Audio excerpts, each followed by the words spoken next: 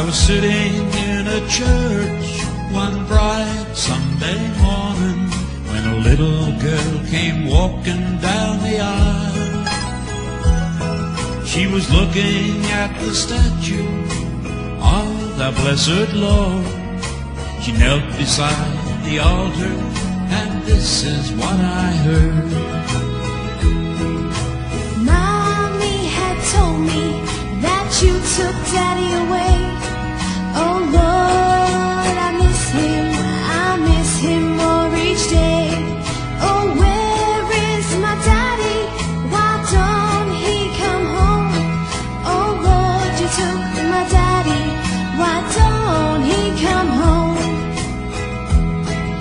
As a to our precious Lord.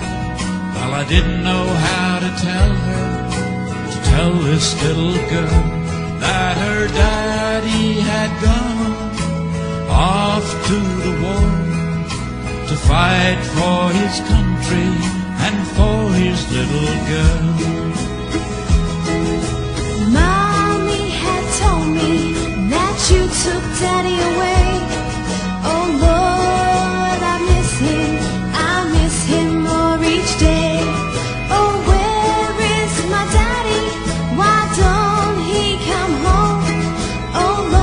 You took my daddy.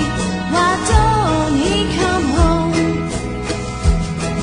As I looked at this child, a praying to the Lord, well, I knew that her daddy had been lost in the war.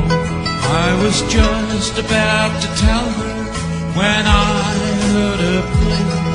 Oh Lord, you took my daddy, so won't you please my daddy, so won't you please take me?